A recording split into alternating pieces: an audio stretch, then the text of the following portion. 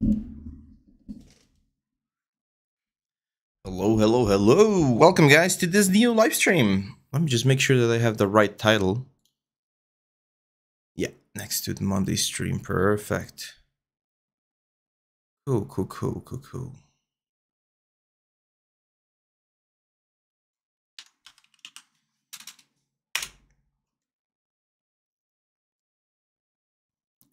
We'll start in just a couple minutes as soon as we get everything set up. I still don't know what we're gonna do today, by the way.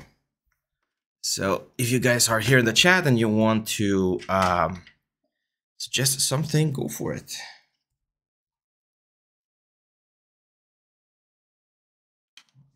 Should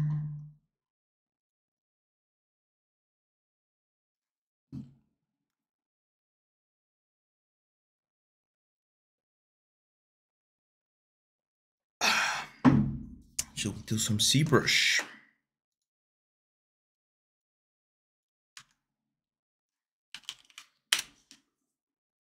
ZBrush is always good. Actually, I had an idea.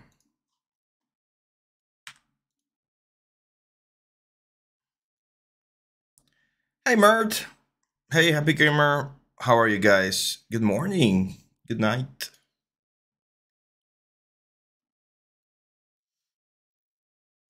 Give me just one one a second, please. I I need to send a um, I need to send an audio uh, to my guys here at the studio. It's gonna be it's gonna be really fast. Don't worry. Give me just one second and we'll start. Okay. Hello, Bunty. How are you, my friend? Uh, if you want, guys, you can start suggesting things because I don't know what we're gonna do today. I don't know if we're gonna be modeling or if we're gonna be sculpting or texturing. So let me know if there's a specific thing that you guys wanna uh, check. Let me just send one message real quick, okay? I'm not gonna leave. I'm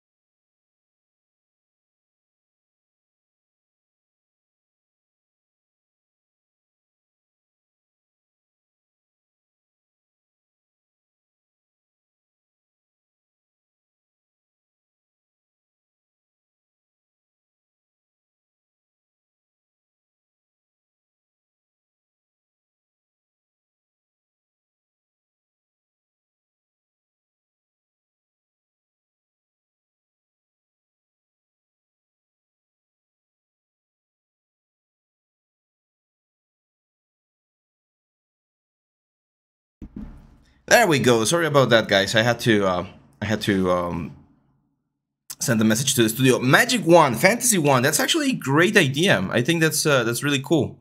Should we do that? Should we do a Fantasy Wand? Fantasy Wand concept. Should we grab a concept or should we create one ourselves? What do you guys think? There's a lot of very cool concepts here. Ooh, this one's actually pretty, pretty cool. Hello, Andy. Welcome kind of like this one to be honest. It's a lot of sculpting. Ooh, that like Cthulhu one.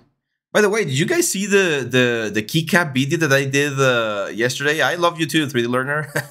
uh, do you guys see that video? I, I was really proud about that one. We didn't get a lot of uh, a lot of views, but uh, I was or I did this very cool little keycap. Um, you can see it on the thumbnail there. It's a Cthulhu keycap with 3D printed and everything. So if you want to check it out, it's gonna be on, or it's on the channel, and the file is actually available as well if you guys want to download and print it yourselves, it's for a Cherry MX uh, key uh, keycap thingy.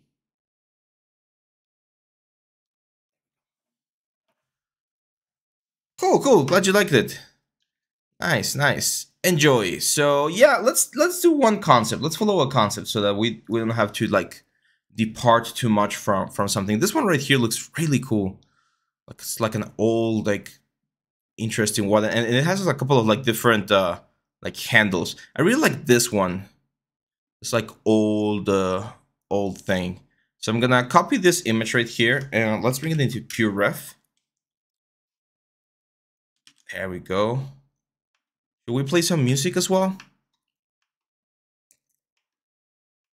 Okay, so um, whenever we are doing any sort of concept, where I'm gonna be doing this one right here, this like uh, the, the, fourth one, because this one is like Cthulhu. We already did Cthulhu, although this one's also quite nice as well. Should we do this one, the old guy? You guys, you guys pick. So, so um, which one should we do? Should we do the old guy or should we do this like a like a runes, uh, the the runes one? And 3D Learner is asking about um, the the course, the the Mech Lion course. When we hit 30 viewers, I'll show you the render. I, will show you the final render of the of the lion. Okay, so so we'll do that. Old guy says Canooks, not the old one says Mert. Uh, is ZBrush sculpting required for 3D Pro artists? Yes, yes, it is definitely required. Uh, where are you from? I'm from Mexico. I live in Mexico, in the north part of Mexico, in a small little town called Saltillo. Well, it's not small, but it's a, it's a, it's a nice old dude. We got two boats for the old one, and we got two boats for not the old one. So it's, it's, gonna be a a, a, a, coin flip. So let's go to ZBrush. We'll decide in just a second. Either either way, we need to do like the the upper one part, which is this one right here. So here we go. The way I'm gonna do this is I'm gonna start with a sphere, which might seem a little bit like weird. I'm gonna start with a sphere. I'm gonna get rid of a dynamic perspective. Let's go to the to the right view. There we go. And I'm gonna scale this up and kind of like flatten it on the sides as well. And that's gonna give me this sort of like peel looking shape. Gotta try to keep it a little bit rounder. We're gonna be using, of course, Trim Dynamic to, to get like a nicer silhouette. And then with my move brush, I'm gonna go for a really, really big size here on the move brush. I'm gonna remove dynamic for just a second. There we go.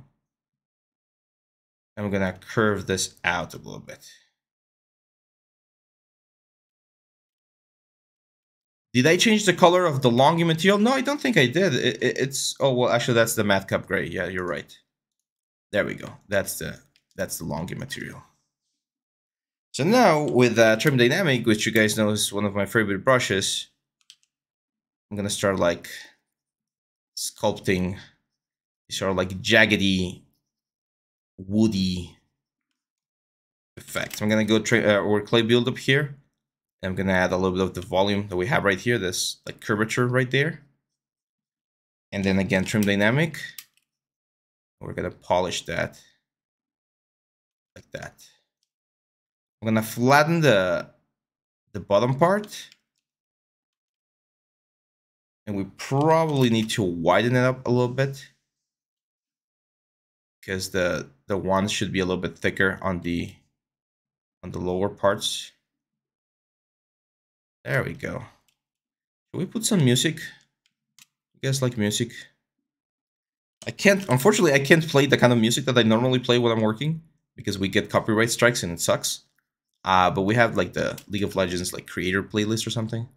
And it's not that bad. It's a good one. Let me play some music because Otherwise, it, it feels a little bit boring as well. Uh, League of Legends creators. There we go.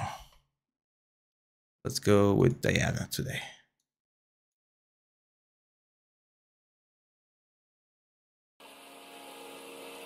There we go. We should have a little bit of background music there. Great. So, uh, let's answer some questions. Uh, 3D Learner says, At my university, I'm learning 3D modeling and I want to be really good at it, but it's frustrating when I do mistakes and things go wrong. So, uh, sometimes I get talks like, hey man, I'm really perfect for 3D, I love 3D, but struggling with motivation and learning, suffering with self-doubt. Yeah, it's uh, one of the hardest things I would say, uh, my friend, for... I think the music's too loud. There we go. So, one of the hardest things about this career that we choose is the fact that it's a very creative create is very taxing on the on the mental state. We are, are constantly being challenged by our limitations and by our learning curves and stuff. So patience is is a key factor. Like you need to understand and it took me several years to understand this but you need to understand that things don't happen from one day to the next one. Like yes you will eventually find like a technique or like a like a trick or something that's really really good and that really really helps you uh, but more often than not it's, it's more like a combination of uh, of, of practicing uh, like frequently. If you do that then you're gonna be able to um, you're gonna be able to uh, to improve a lot more so so it's it's it's, it's practice practice is, is very important but I, as i've mentioned before it's, it's good practice right like you need to pick challenges and and works and uh, and projects that are gonna um, really push you towards what you want to do. I- have had students that are like, I want to be the best at 3D uh, modeling, and they start learning animation. It's like, what are you doing? Like, if you want to be a 3D modeler, you need to learn about 3D modeling, not animation. If you want to be an animator, then you need to learn about animation, and you need to do the things that animators do. Uh, it's a it's a complicated thing, but it's uh, it's part of the of the process. Hey Ariane, I got your email yesterday, my friend. I'll I'll, I'll review it in in, the, in a couple of minutes, okay? So we're almost there. We're almost at the 30 concurrent viewers. When we hit 30 concurrent viewers, I'll show you the uh, the the lion that we just finished. I finished it. I finished it yesterday. I'm just doing the renders. Actually, after we finish the live stream, I'm gonna finish some renders and I'll prepare the intro video and we'll submit everything so that you guys can uh, can see that one. Uh, let's see, Mr. Safe is asking, hey, I'm confused. Can you tell me when to use ZBrush and when to use 7D modeling in Maya? Like the work you are currently doing can be done in Maya or why not? Huh, that's a great question, actually. Yes, like we could definitely like model this wand in Maya with like extrusions and stuff. However, um, since it is very organic and we're gonna need a lot of detail for like the wood grain and stuff, especially if we want to like 3D print this or something, uh, the ZBrush is usually better. The, the, the rule of thumb or my rule of thumb is if it's very organic or has a lot of detail, I'm probably to be doing it inside of ZBrush. If it is uh, very like a mech, very, very hard surfacey, or it needs to be, or you need to use the subdivision thing uh, properly, then I'm to use Maya. Subdivision is really good for commercial and film work. For games nowadays, everyone pretty much does everything in ZBrush so that they can go as high as possible on the details and on the polygonal like uh, modeling, and then they retopologize. So so it's it, it varies. It's a little bit uh, different. What do I listen normally? Um, I I love uh like um like folk music. like uh, there's a very famous Spanish band called Mago de Oz and uh, and they have this sort of like folk fantasy music sort of stuff. It's really really cool. I love uh, like indie music, um, like. Uh, yeah, I, I don't listen a lot to the pop music. But however, there's a genre that I found not so long ago, which is called nightcore, which is pretty cool. It's like pop music, but with like a metal twist and like a um, higher pitch vocals. It's really really cool. I, I, I find that one pretty pretty cool to to listen to. And uh, every now and then uh, I'll I'll listen to some, of course, rock and stuff like that. Like I, am not like huge like music geek, so I, I can listen to a lot of stuff to be honest. 31 viewers, there we go. Bunties on the mark. You guys are now gonna see the lion. This lion, my friends.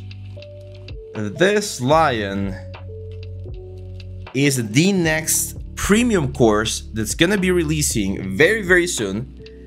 The um, the project is finished. It's 20 hours of, uh, of videos. It's full Maya modeling, like we model every single thing inside of Maya. And this is the final model result. So this is the, the lion right here. Let me turn on the wireframe so that you can see. Subdivision modeling, as uh, as Mr. Safe was saying, it's a it's a it's like a it's like a, the continuation to the hard surface course. So if you've taken the hard surface course uh, that's available on our on our platforms, uh, this is a great like second part to it. We go through the whole modeling process for this lion, and we take a lot of things into account. Like everything is it's not like perfectly engineered, but things are meant to be uh, rigged, and it's supposed to be uh, it, it should be able to move very, very nicely. So yeah, the this is the the final lion, and let me show you the render.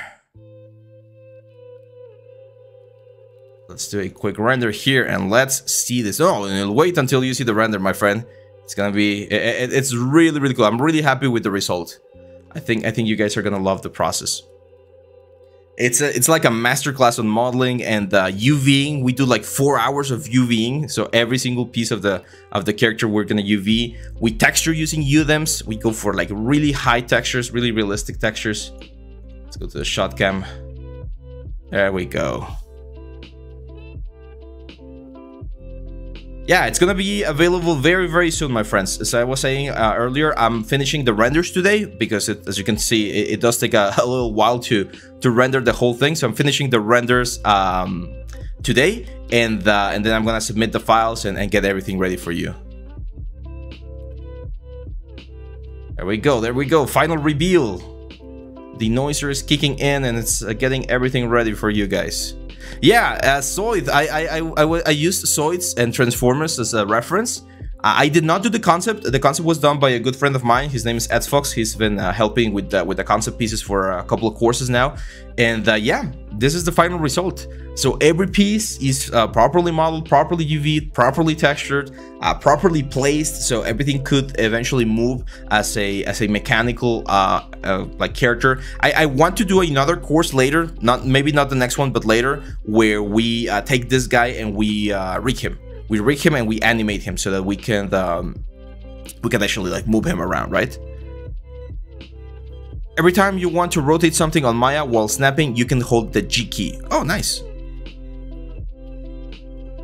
Can't wait to watch this one. Looks so good. Yeah, yeah. It's uh, again 20 hours, 20 hours of uh, of content. Uh, the full modeling process. I actually have a nice little. I'll show it to you guys because I like you. I have this little I even show you how to do like a nice like uh I wouldn't call it like cinematic render, but more like presentation render with like some assets and props. But look at this. This is the, the process. We we document the process as we as we go along. So we start with a very very basic blocking, like no pre-generated things, no like everything from scratch. And uh, little by little, we start adding all of the different pieces. We start doing all of the different parts. First, we do the inner skeleton, which as you can see, is like I really put a lot of thought onto the skeleton to make sure that we could move it and we could rig it and it made sense from a from a rigging standpoint. And after that, we start working on the armor, armor, more armor, final pieces of armor, and then we go onto the the mane, which are just like solar panels. We do the UVs for everything, and then we texture. So yeah, that's uh that's the that's the general process, guys. It's uh it was a really really fun fun project and it was fast. Like I had to do this or I had to finish this uh, through February, uh, which was really really intense. Uh, but it's done. It's done. So you guys are gonna be seeing more of this in the next couple of days. Let's see. Hey, Hitesh, how are you? I'm not sure what Hitesh means. Is that like teacher or something? If that is teacher, I'm doing good. If that's the name, I'm not Hitesh. I'm Abraham but thank you. Um, oh no, he, his his uh, his uh, dev records is, is saying hi to everyone else. Cool. So how good is GPU rendering in Maya compared to CPU? It's really fast, like really, really, really freaking fast. As you like, uh, I'm, I'm rendering the uh, the turntable right here, and it's taking like 20 frames per render. So it's uh, it's really, really, really fast. However, uh, it, it does crash a little bit every now and then, which is not that big of a deal because you can just like restart it. But it's a, it's a really, really cool, um, really, really cool system, to be honest. If you have, you, you do need to have a powerful GPU, of course, to, to get the best out of it. I got a 3080 Ti last year, um, which I regret now because I got it when it was really pricey and now the prices have gone uh, quite down. But uh, yeah, that's uh, that's it. First says, Hey Abraham, I'm starting to learn more about Niagara in Unreal. Uh, yes, uh, that's, that's actually one of the courses that we've been planning first. We've been planning some dynamics courses and uh, I'm, I'm, debating whether to focus on game uh, like effects or on the um, on like Bifrost and stuff. I think we're probably gonna go games because it's a little bit easier for everyone to have a, a computer to to run like game stuff. Uh, and yeah, well, uh, Bifrost and stuff is, is really or can be really heavy. The hi Abraham, he's my really good friend. Oh, cool, cool. Well, welcome, my friend. Welcome. Cartoon character series. Uh, that's also a really good idea. No, there's not. Uh, I, I I haven't seen a really like a strong uh, difference. Uh, random, random, randomly doodles. There's not a lot of um of difference. I would say. However, when you're doing like very precise calculations, like you if you're going to be doing a lot of gla glass and uh, and uh, like emissive surfaces and stuff like that, CPU is is more precise. It's definitely more precise. So for really like realistic things, you might want to do CPU simulations, for instance, or like uh, volumes and stuff. CPU uh, can give you a, a nicer result, uh, but for other things, um, uh, GPU is is really really fast, really good. Uh, Peter Lean asks, have you ever used Mari before? It seems to be more commonly used in realistic skin. Yes, I've used Mari before. I used it a long time ago, to be honest, uh, like, what, like six years ago. I haven't used Mari since. The thing is, it's actually quite pricey. It's not as, as cheap as a Substance Painter. Um, and um, and it, it needs used a little bit more for like like really high-end film stuff. So most of the stuff that I do as an artist is uh, is like games and uh, and like more freelance work. So it's not like super AAA and um, and we don't really use it or need it. However, yes, uh, Mari is really cool. We do have a course. We released a course, I think, not so long ago about Mari as well. Uh, it wasn't done by me, but it's one of our, our top instructors as well, and uh, it's a really good one. So I created this cube, I gave it Dynamesh, and now I'm gonna start like modifying the silhouette a little bit to start creating the the base of that uh, one. It's a really cool one, to be honest. I'm gonna use Trim Dynamic to bevel the borders and round the whole thing.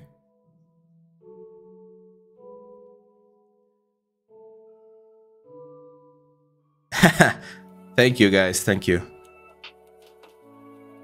Next 3D modeling course on hard surface weapons. Yeah, that's also like, I have three main ideas. It's hard surface weapon, it's the uh, like a creature uh, because we haven't done like a monster or something instead of ZBrush, like a creature sculpting uh, like a series. Uh, there's another idea, the effects idea, uh, advanced rigging. Like uh, there's there's a couple of ideas. Um, I'm, I'm gonna focus on finishing this one, and then along with Nalin, we'll we'll figure out what the what the next one will be. But don't worry, well, I'm trying to do one course every single month. So um, so yeah, you guys you guys are in for more content. Don't worry about that. if you want to rock make character like Atomic Heart. I've seen the designs. I don't love them to be honest. It looks interesting, but it's not my type of uh, games. It looks cool though. It, it's a nice. It, it looks. It looks. It's a style again that I don't particularly love, but it, it's uh, they're good models. Let's see. Cherry Cassette says, your Marvelous design control is awesome. Thanks. You're welcome. That was that was a really fun one because Marvelous Designer is a really weird software to teach because you don't teach much about the software. I mean, the software does have some tools that you need to understand, but I had to learn so many things about like traditional sewing and tailoring because knowing those things is what allows you to do cool things inside of Marvelous.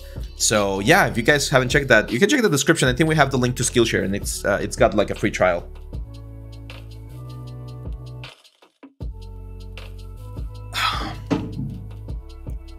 um, Hi Dank says, do you have a course about nodes and hypershade? It's really hard. I'm a newbie. Uh, can, can you specify, Hi, what kind of things do you want to learn about the nodes? Because more often than not, we just use the nodes to connect textures. We don't really use the nodes to, um, well, at least myself, like I don't use it to generate like procedural things back when I was a student, there were a lot of people that were doing like procedural texturing with nodes. So they would recreate textures such as skin and and ice and uh, and things like that with um, with nodes instead of uh, texturing.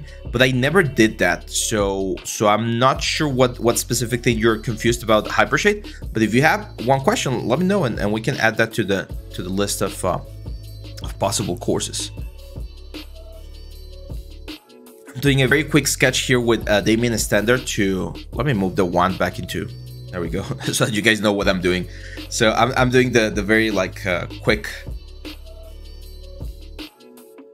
like blocking of, of this detail right here. There we go. Let's just move brush. Hey, Istiak, how are you? Good morning.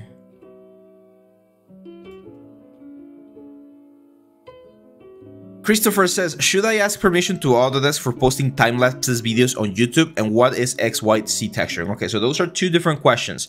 Uh, no, you, I mean, if you own the software legally, if you have a license or you're a student uh, and you're using the, the student version, then you're totally fine. Like you, you don't need to ask permission. You can share that as part of your portfolio that's that's fine. Um, if you're using the student version or the teacher version, just remember that it's supposed to be a non-commercial version, so you shouldn't be making any money out of it. They're not gonna go after you, like a lot of people do it. I don't think they're gonna go after you, but the proper thing to do would be to get a license. Uh, Autodesk offers the the indie license, which is really cheap. That's the one that I have and it allows us to pay for like a traditional license and, and do all of the things that you might want to do. Um, as for XYZ, XYZ is a, a, a company that provides uh, scans and textures for super realistic skin. So if you're gonna be doing a lot of displacement and a lot of like uh, really, really uh, like close-ups of characters and, and different parts of the characters, then XYZ is a really, really helpful tool. They have sales every now and then for some of the more famous like uh, pores and stuff that they that they have, like the skin details. It's really good. It's really, really good. I, I have a couple of them myself. I've used them as well. Uh, I do believe we use them on the um, advanced character texturing course or the sculpting course. However, uh, it depends because if you're, for instance, doing this for a video game, you're not gonna even be able to capture all that detail. So, but yeah, like XYZ is, uh, they do have a software as well. I think I haven't really checked it out, um, but I do believe that that's a, an interesting software that you could use for your for your productions as well. Can you lower the music? Yes, of course. Let me know if that's better. So here, just using my traditional um, my traditional brushes, clay build up, trim dynamic. As you can see, we're I'm, I'm just like guesstimating the distances and the and the forms. I'm not really like tracing or anything. If I wanted to trace, we could of course uh, bring this in and just like trace it as a perfect image. But this is one of those exercises that I I really recommend people try to um, try to do it on their own. Like don't don't try to trace everything because this will train your eye to um to to get this better. Actually, I want to show you something, guys. Give me one second.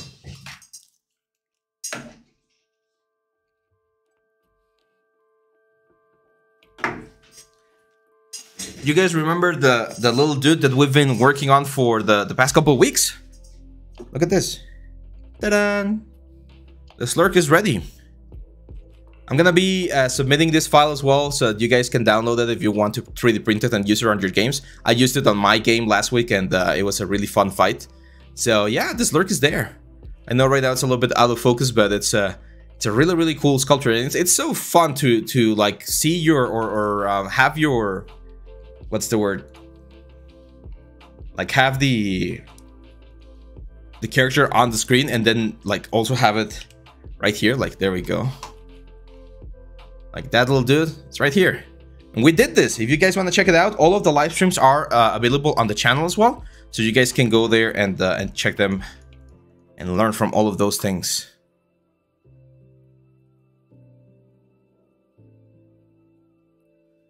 Will this prop be stylized or realistic? You you guys tell me. Should we do it stylized or should we do it realistic? I can do both can try doing both. Uh, from the concept, it looks a little bit stylized, but I kind of want to make it realistic. So I think I'm going to go realistic, to be honest.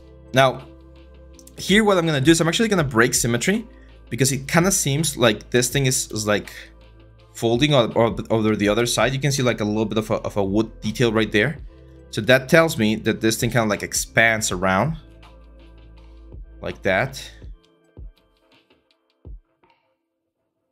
And then probably comes back. So all of this area is going to be filled. It's going to be an asymmetric prop, which is fine. And we just keep creating like, this is like bark, right? Like someone took a, a piece of a tree and carved in the bark. So actually the, the clay buildup is a really good tool for, for this particular uh, process because it leaves this sort of like like lines that make it look like the like the bark of the of the tree. Gonna use trim dynamic here to flatten things a little bit.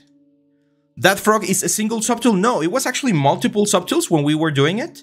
So it's the body, the horns, and then the eyes. But when we uh, 3D printed, I did, of course, 3D printed as a solid object. So I used a Boolean mesh to uh, just make everything a single, like, solid shape. Which is important for, for 3D printing purposes. Let's turn on symmetry again. Why? Because this area right here seems a little bit more symmetrical.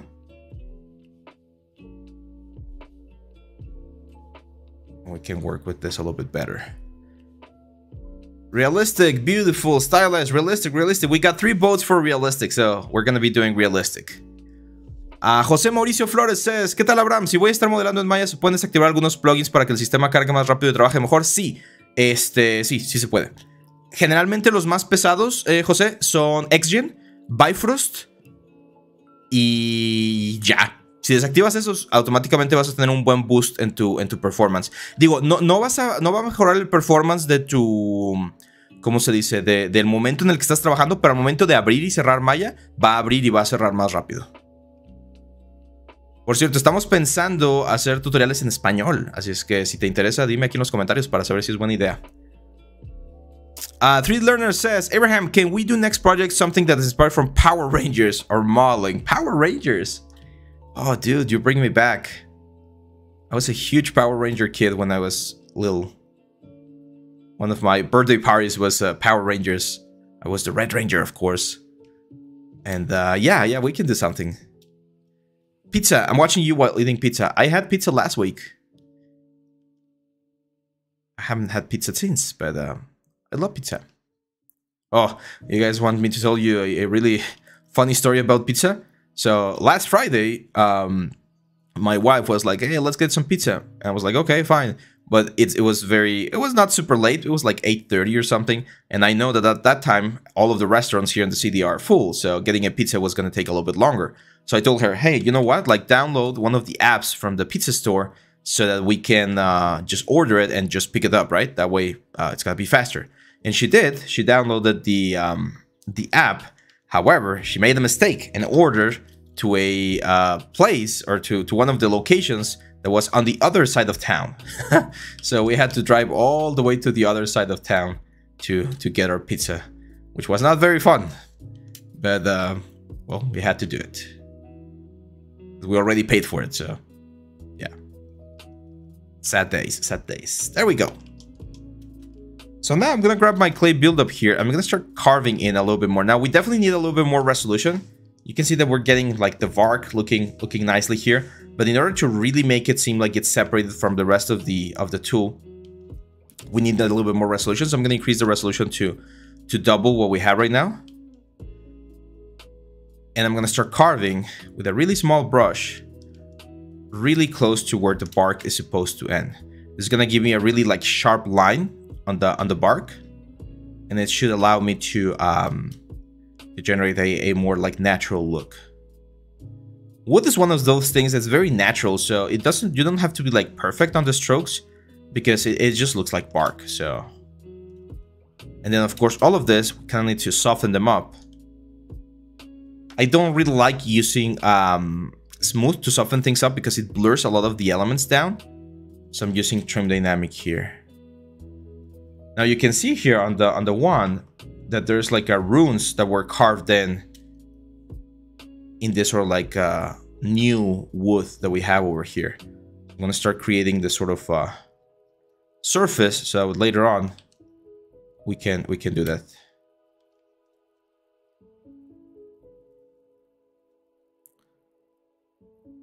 That's great, Jose. No problem. We're, we're still gonna do uh, English. That, that's not something that's gonna change. It's just an idea that we have floating around. SPD Power Rangers. That that was a little bit like when I was a little bit older. My my younger brothers uh, saw those, but to me, like the best ones were the original, like Mighty Morphin. Those I I, I was one of the the '90s kids that got to see all of the Mighty Morphin Power Rangers.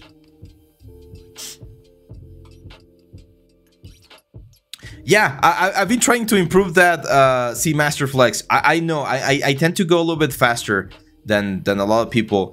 I I don't know why. I, I seriously have tried to to slow down, but it's it's just part of the way I, I kind of teach.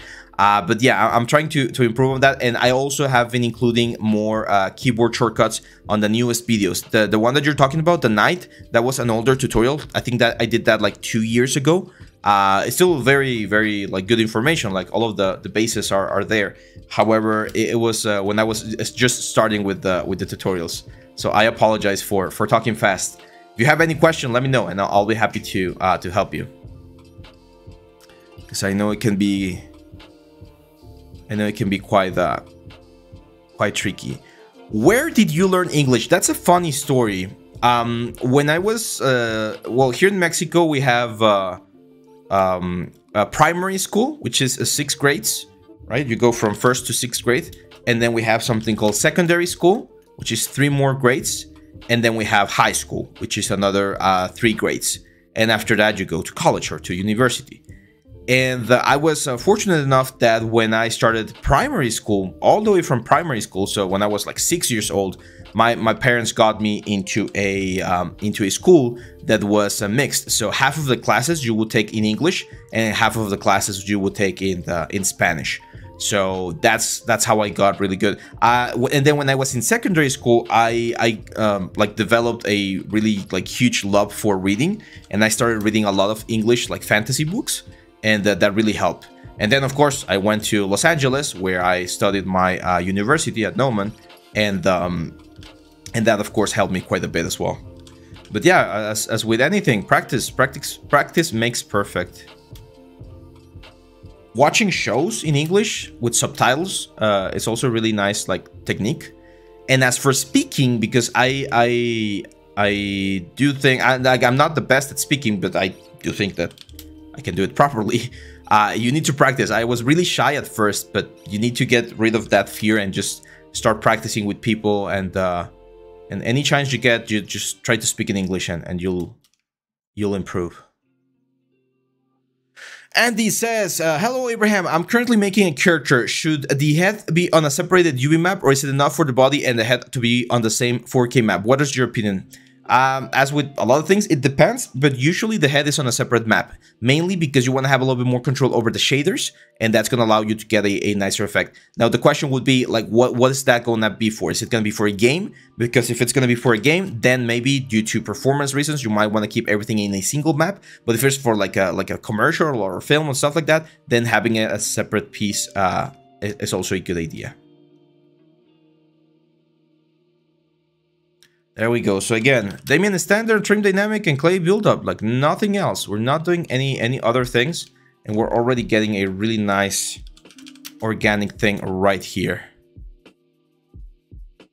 I'm learning English with GRPG games. Yeah, it, it, it, sounds like a like a silly thing, but games are actually a really really good way to learn as well. I I, I was um, I, I learned a lot from from English things as well. Now here, the runes, I, I don't think I want to do the runes on the sculpting. We could do them, but it's it's going to be a little bit more tricky. And I think those that's one of the details, since it's such a small detail, that might be a little bit better off uh, done inside of uh, texturing. So now I'm gonna I'm gonna get rid of uh, of symmetry, and we're gonna start adding some more specific details. So for instance, here we have like a like a knot on the wood. So I'm gonna add the knot.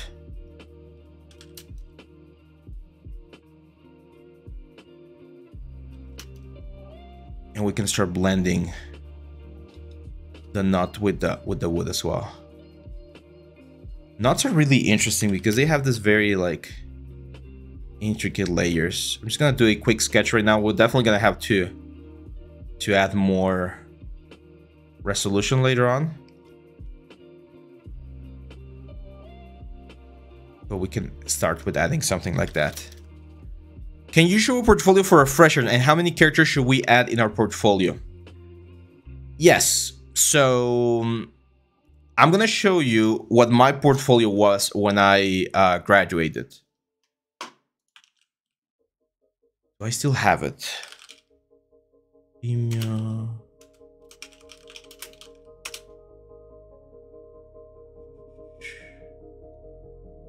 that's not me. Where is it? So when I graduated, my main there we go. My main uh, goal was to be a uh, was to work on cinematics. So that's why I I did this. So it was I think it was six pieces of um, six pieces that I that I presented. Right. I was th three characters. This was the first one. This uh, like uh, ice giant fighter. It's uh, it was done for cinematics, so it had like UDIMs and like 4K textures and everything. It was like a really really complex character. And then it was this environment right here by Eitan Sana. He's an amazing concept artist. I think he's at, at Naughty Dog or he was at Naughty Dog. Um, and then just a couple like shots. So that's the second piece. And then uh, there was that there's the concept right there. Uh, I used Mari for those, uh, some of those. I did this character as well. This was was a really fun one because I actually did the textures on Substance Painter when Substance Painter didn't have UDIM support. So I was able to hack my way into creating some nice looking textures. Um, that's the that's the character right there, the concept. A couple of turntables. And then I did this environment. This is the fourth piece. And then the final piece, which you're about to see, that was like my like my best piece at that time, right? So it was a, a, a portrait, a character portrait that I did for again for like cinematics and stuff. Um, nowadays I see it as like, oh, so many errors, so many things that I could fix. But at the time I was really I was really happy with this character right here. And uh, yeah, that's uh, that's it. I showed the, the passes that I was getting and how I was like combining them into getting the final image. And uh, this was my portfolio back in 20, 2016. So like what, like seven years ago. That's the portfolio that I created when I graduated school. And that one was the, the portfolio that got me my, my first couple of jobs. So I hope that uh, I hope that helps. Christopher, I was actually English literature student three years before. Passion drives me to draw. When I joined course to study drawing there, I found 3D. Life is unpredictable. Yeah, I was studying medicine before I, I became a 3D artist. I was going through med school here in the in Saltillo. I did one year of med school, and uh, and after that, I um, what's the word? I, I jumped into into 3D. So yeah, I, I understand you, man. I understand that life is really unpre unpredictable. Uh, Burke says, Abraham, I want to ask a question about the cloth. When we're making a cloth for Marvelous or ZBrush, should we add thickness to the cloth or should we keep without thickness for production? Um, again, it depends what production. If it's for cinematics, you normally don't add thickness because you're going to be simulating that and it's going to be flowing with the wind or moving or like just like a, in general like a like uh, changing, right? However, if it's for games, I do recommend having thickness in certain types of games. For instance, if you take a look at League of Legends and World of Warcraft and stuff like that, where things are a little bit more stylized, you're gonna see that they tend to give uh, this very uh, stylized, thick effect to all of the armor pieces and the inner cloth other games like Assassin's Creed and stuff like that, you might have like a cape or like a like a scarf, and those probably would be uh, thin as well. So it, it, depends. It depends, but it's not that difficult to add thickness. Uh, you wouldn't normally add the thickness inside of Marvelous. Marvelous you want to keep things uh, thin, uh, but then later on on the production or down the production line, you might want to add thickness. Have another knot right here.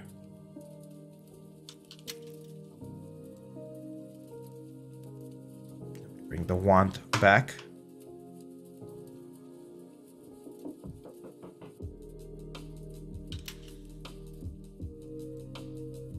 It's a little bit more curved. As you can see, this thing is not as intense.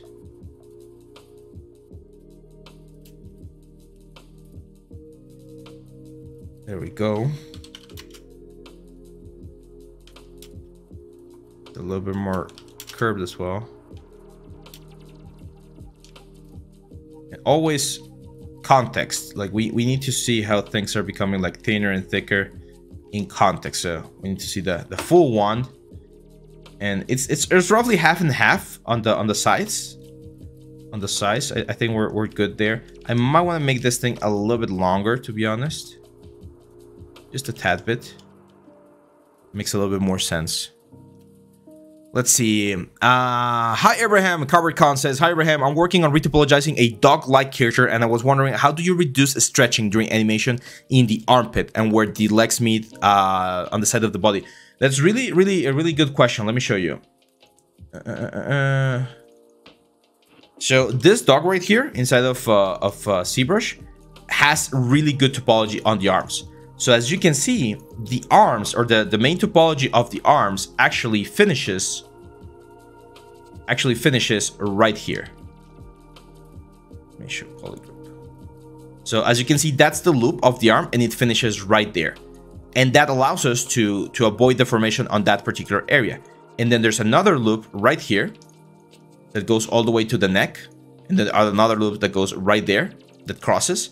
So so it is it is a little bit unavoidable. I mean, if the dog is gonna be like moving the arms like this and stuff, you're gonna have a different topology. But if it's just gonna be running around like normally, then this is the, the topology that you wanna have, or as close as uh, possible to this ones as you want.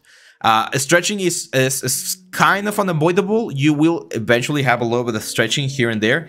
And again, it depends on the production. If you're going to be doing a dog for a commercial, you're probably going to be using muscle systems and things like that that are going to make the movement really, really realistic. If it's going to be for a game, it doesn't really matter. Like things are going to bend in weird ways. That's it's, it's normal.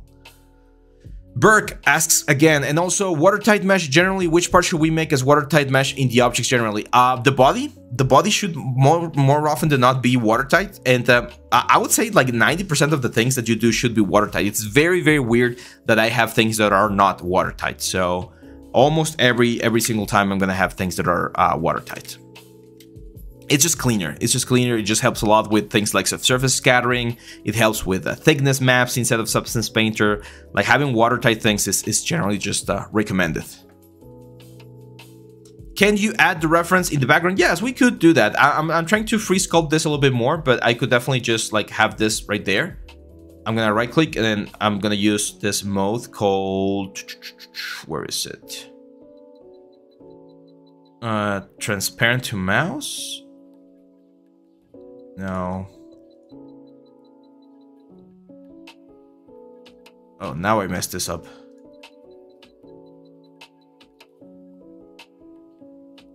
Control T. Now, there, there's a way. We, we could, for instance, use the see-through option to see through it, but I'm, I'm not using that right now. Oh, now I can't move it. I messed up my PureRef. Let me see if I can close this. Save. There we go. So yeah, yeah, we, we could do this with the with the thing as you mentioned on the background, but I, I want to do it a little bit more free. I was I was mentioning at the beginning of the of the video that doing it like this, like freestyle, is a good way to practice for um so to practice like the the shapes, like know how to how to attack shapes and how to like properly capture them and stuff. Now here we need to rebuild a little bit of the bark that we destroyed. So let's go right there. And down here. Let's see. What is Critical Hit Academy? Your own studio? It was. It was my own studio. I have I have two uh, I had two studios. Right now I just have one. So right now I have a studio called Hyperlab, uh, which is where we develop the like aug augmented reality and, and the virtual reality things, like the projects that I've talked about in the channel. And the Critical Hit was my school. Uh, I, I, used to teach classes like uh, a physical class, or not physical. What's the what's the word? On-site classes. So people would come here and learn. However, uh, the pandemic uh, it it was really rough to us uh, as an academy, and I had to close it. So yeah, like cr cr critical critical hit exists no more. Now it's just my personal brand, Critical Hit. But yeah, that was that was my my school. Actually, I think that's how uh, Nalin found me when I first started teaching here for Nexttut. He he probably saw some of the things that I was doing with the with the school. I'm I'm nurse 17 years and I'm in 3D stuff. Oh, you were a nurse for 17 years and now you're into 3D stuff. Yeah, yeah, that's uh that's what I'm saying. Like for instance, myself, I, I see myself doing this for a long time, of course, but uh, I really want to learn about like our um, woodworking. Woodworking seems like a really, really fun thing. I'm not sure if I could do it as a career, but I definitely want to do it or learn this as a hobby. Blacksmithing, like if I could learn how to be a blacksmith, that would be so epic. I would love to do that. However, the the equipment and the and the areas that you need to do that is, is a little bit more complicated than than woodworking. Let's add a small little knot right here.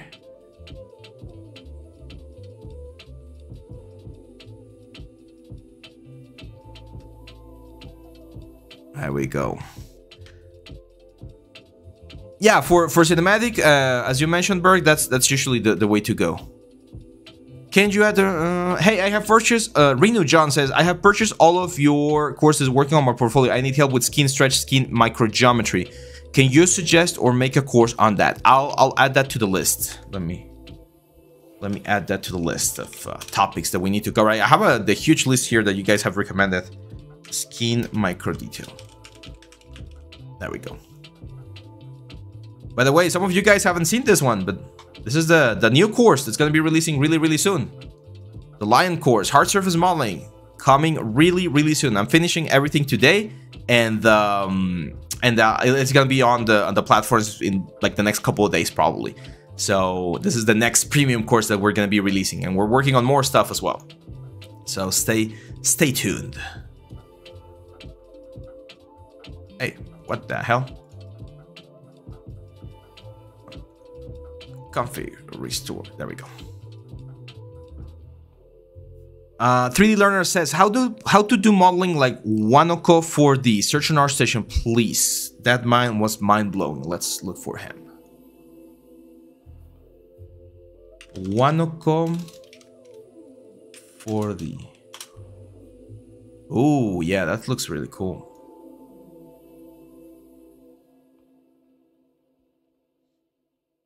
Wow, yeah, this is pretty sick. Yeah, I mean, it's just hard surface modeling. Well, it's not just hard surface modeling, it's hard surface modeling. It definitely takes, uh, like, the, the thing that he's doing with this that's really interesting is that he is, he probably has some knowledge about engineering, and that's why he's making things, like, fit and do everything, like, properly. But yeah, he's pretty cool, man. I mean, the, the course that I'm uh, saying, the, the Lion course is definitely going to be helpful uh, for some of this stuff. But yeah, this looks really nice. Hard surface in ZBrush. Uh, we have one. I did one course on that, I think. We, we do have one hard surface uh, course. It's like a, it's a beginner level course where I go through several examples of how you can tackle like armor, weapons, uh, a little bit of environment, I think even. Uh, we already have that, but maybe if you if you mean like a like a big robot or like a big suit of armor, yeah, that, that could be a good idea as well a more advanced hard surface ZBrush course. Bifrost, oh, dude. I know I would love to to teach Bifrost, but it's so so so complex. It's really really complex. And here's the thing: uh, it's a really complex system. Like it's not very easy to understand. It's very technical. There's a lot of like programming and uh, and uh, and technical like things.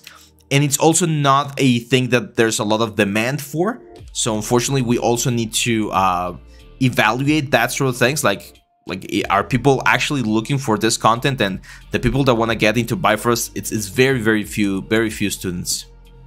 So that means that we would even need, we would need to sell it really really uh, pricey. It would be a really pricey course or or a very simple one. Uh, we're, we're still debating. That's why I was mentioning that maybe we'll do some effects but it's probably gonna be for games. Uh, because using Niagara and um, and the Unreal Engine it might be a little bit easier to to to teach those sort of things because another thing about Bifrost, uh, I, I, used it on uh, last week on the on the Japanese environment, and another thing about Bifrost is that uh, it's really expensive on render time. Like it, it takes really really long to do a render. Like without the Bifrost, my scene, the Japanese tunnel, was rendering at like 30 seconds, 40 seconds. With Bifrost, it went all the way, and it was just like like a very simple simulation. It went all the way to like 10 minutes. So so it's not really it's not really something that you will be using as much, especially if you're like a small studio, because it's really, really, really expensive.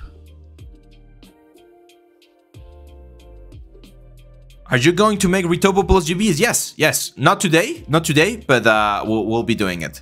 Actually, the, the live stream is uh, is getting close to the end because I need to go and uh, finish the, the premium course. I need to finish all of the, the videos and everything. Uh, but we'll, we'll continue with this wand uh, next week and uh, we'll do retopo, we'll do textures. We're going to do this for, for a game. Uh, I'll even get it into Unreal if you guys want it uh, so that you can see it on the hand of the character.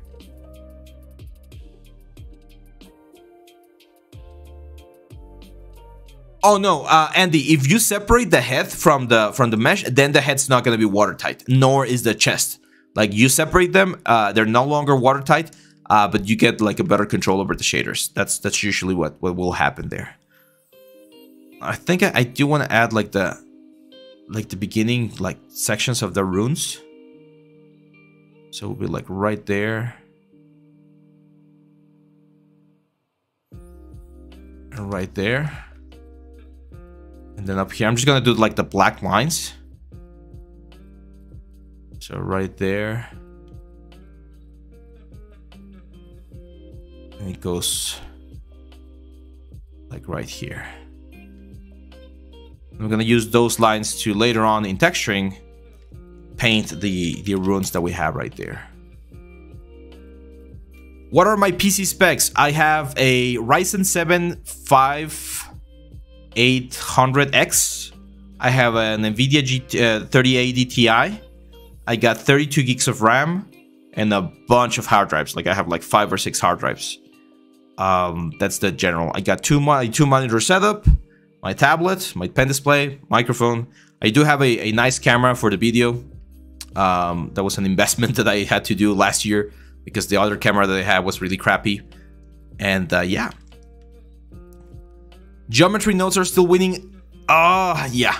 To be honest, I I've seen more like cool stuff being done with geometry nodes than with Bifrost. And it's very similar. Like you can do pretty much all of the things that you can do with um, geometry nodes, you could do with Bifrost. But Bifrost is for some reason more scary than geometry nodes. Like uh, it, the, the learning curve to, to get into Bifrost is really, really high. I've tried it myself. I, have been learning uh, for the last couple of months. And every time I do a tutorial or an exercise, it's like, damn, this is this is complex. And if I feel that it's complex, I know someone who's just like beginning their 3D journey might be like, this is way, way too much. Do you ask permission to model off someone else's concept, or do you credit them when it's once it's done? Um, I, I, do both of those things, uh, depending on on the how famous the person is. Usually, if it's a very very famous concept artist, then you probably do want to ask for permission. However, like the rule of thumb or the the like the unspoken rule is that if you model something that you didn't design, you need to credit the artist and you need to let them know. I, have had several students that have done that. The worst thing that has happened uh, to one of my students was that the artist that they took the concept from, they were like, no, I don't like how you did it. I, I think it looks bad. Please take it out. That was like, and it was not bad. It was just like a, a, a little bit like a, a different stylistic choice in a couple of things. So, so they had to take it down, right? Because the artist didn't want their name to be um, related or, or um, what's the word like represented with everything else or with that specific piece of art. So but that that was that was pretty much it and it was just one time like it, it, just happened to one of my students uh, like a couple years ago. To me I've, I've never had an issue had an issue with an artist. Uh, i always credit my artist when i uh, when I take their concept pieces. And nowadays, or for the last couple of courses, what I've done in order to avoid any issues is I've been commissioning the concept art. So for instance, for the lion that I showed you, I, I paid, of course, my, my friend Ed Fox to do that concept piece uh, for us. So we bought that concept piece and now we, like, it, it's ours, right? So we can do whatever we want with it. So yeah, Can I be good at ZBrush with mouse as a beginner? Oh, not really, man. You're gonna have a really hard time. Like, you can definitely do it, but it's gonna be a little bit complicated. If if you want, uh, or if you could save for like uh, like uh, Huion, Huion is the brand that I'm using right now, and it's really good. And they sell like uh, really cheap ones, to be honest. Like this one right here. This one like it's it's it's 50 bucks. It's uh, a thousand pesos but in dollars it would be like 50 50 dollars. And with this it, it's more than enough to to start working. Like it's the most basic one and it will give you a really really nice result. That would be my advice because yeah if you don't use a tablet that due to the pen sensitivity you're gonna be suffering quite a bit. But yeah there we go guys. Not bad for one hour right? Look at that. Really close. I got a couple of angles wrong uh, but overall, I think we captured the the essence of the of the piece very nicely, and um, and uh, we're gonna be working on this on the next couple of days. Let me answer some more questions, and then we'll finish the the stream. Okay. So 3D Learner says props, weapons, hard surface, vehicles, environments, all Maya modeling. I want to learn. Okay, we'll we'll add that to the list, of course. Uh, Umang Patel says, I found a great concept for modeling on Pinterest, but I could not find the concept artist. What should I do in this situation? Try to do a reverse image search inside of Google. You can upload the image and it will like try to find who the artist was. If you can't find it, then, uh, I mean, you still can do it. That's fine. Just make sure that you like add a little note that says, um, like not original, uh, not my original concept art or something like that, so that people know that you did not design the thing, you just model it. Uh, Chili says, can you guys ask Arash to make another course on speed Yes, of course, of course, I'll let them know. You wouldn't want to sculpt with the mouse? No, you definitely don't. Constant ends tomorrow. Mert, yes, you are right. Contest ends tomorrow. Give me one second. my god. Contest does end tomorrow, and um, and uh, I'll, I'll upload a video tomorrow talking about that so that people can submit and everything, and we'll be announcing the winners on Friday. So make sure to submit if you've been uh, working working on that. Ah, couldn't be a video from me without the sneeze, right? So yeah. Yeah, XP Pen is also a really good brand. Um, I haven't used it personally, but I have some students that have, and it's it's really good. Um, I personally have a, a Huion pen display, which has been um, amazing. I, I, was using a, a, like traditional tablet for like 10 years, and last year I, I, I got a little bit of extra money and was like, let's get a display, and it's just amazing. Um, Okay, yeah, I, I have a, a video 3 learner. You might want to look it on the channel that says how to how to learn anything or something like that. And it, it shows the strategy that I suggest to my students whenever they want to learn any skill. So that might be interesting for you. Uh, do you do hard surface parts in Maya and sculpting organic parts in ZBrush? Yes, like switch between both. For the for the lion, uh, this one right here, everything was done in Maya. Like every single piece was done inside of Maya. Uh, but if I was working on a on a like another type of product, I would definitely do certain parts inside of ZBrush or Marvelous Designer, like any software that you can use, Blender, like whatever. If, if there's a part that you can do easier in another software, just do it. Like there's no reason not to do it. Gracias, José. Gracias. ¿Qué andamos con las alergias? yes, uh, I, I, agree, 3D learner. I, I, do, I do, uh, like won the lottery by by marrying her because yeah, she's a she's a, a psychology master. She's a master now, and uh, she's really good at, at helping me with that sort of stuff. Uh, Pastor says, should everyone learn each and everything as an artist, like modeling, sculpting, etc., just one field?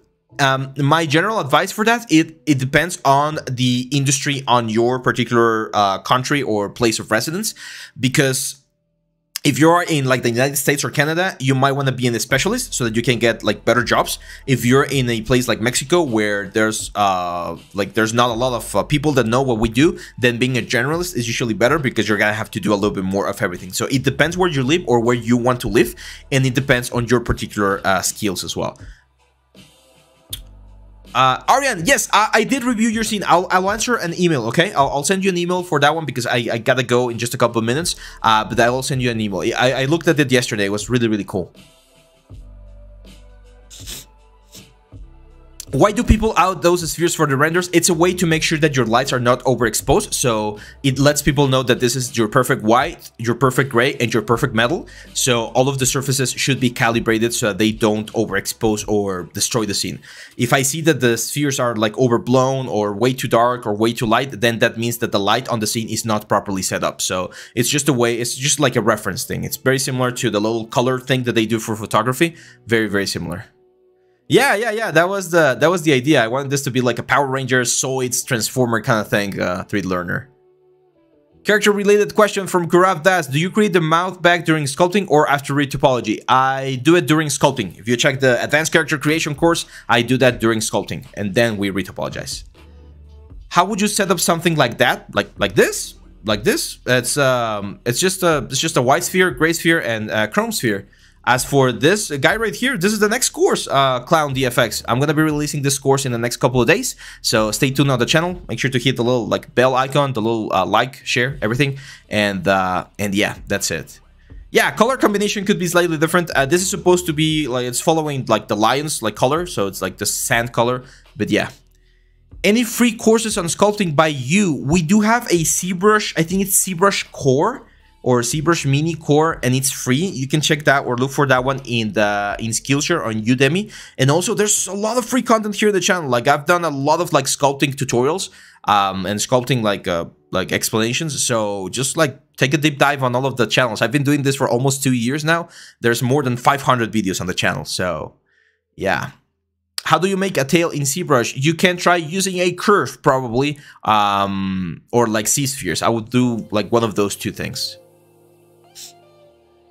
And Umang, I have been modeling some weapons now and I have a good grip on modeling now. What should I model according to you? If you've already done a model of a weapon, I would suggest doing something like a vehicle, like a car is like a final exam for a modeler. Modeling a car is really important. And uh, like a ship, like a spaceship or something like that, something a little bit more complex, like bigger scale, that would be a good a good thing. So that's it, guys thank you very much for being here on our Monday uh, live stream. We've been doing this for a couple weeks now, and it's been a huge, huge success. I love uh, having all of these interactions and answering your questions. We are gonna have more videos this week. Uh, I'm also thinking about having a second day of live streams uh, during the week. Still not uh, like uh, still not set in stone, but we'll, we'll talk about this in the next couple days. Remember, tomorrow we have the creature contest. The next course, the premium course, is gonna be releasing really, really soon. You can submit your stuff for the creature contest tomorrow. The portfolio review is also open. You can check some of the old videos from last week, and uh, and you're gonna find the links for both elements so that you can submit and, and have everything.